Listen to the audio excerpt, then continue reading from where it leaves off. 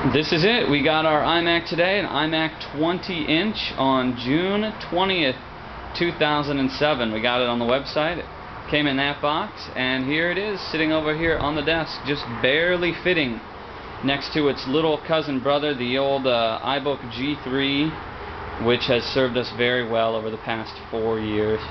But uh, now it's the next enormous uh, iMac here with its Bose speakers that we got separately. It's uh, pretty cool. I'm excited to start using it.